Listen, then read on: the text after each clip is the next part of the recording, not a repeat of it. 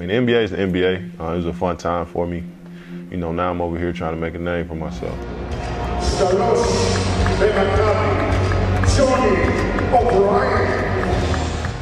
Obviously, this is my fifth year playing professional basketball. I'm 25 from um, born and raised in Cleveland, Mississippi. Have a wife, three kids, um, and I hoop for a living.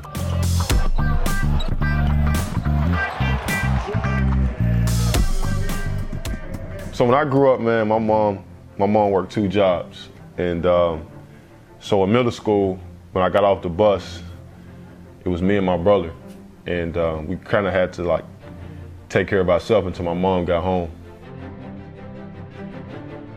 A lot of times, you know, like it wasn't a lot to eat in the refrigerator. You know, it just wasn't, you know, people in and out your house.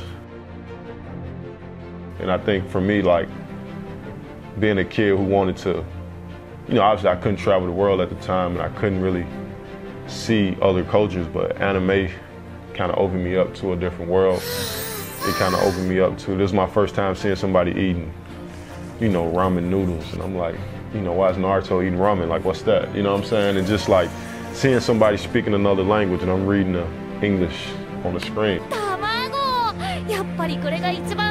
It was just, it was just something, man, that helped me like for two hours. I could just lock in and not worry about anything, you know.